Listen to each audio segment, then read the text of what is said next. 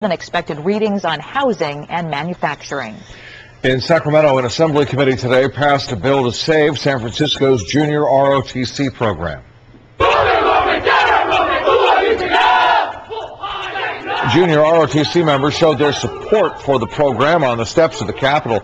The bill, sponsored by Assemblywoman Fiona Ma, would force the school board to keep it going.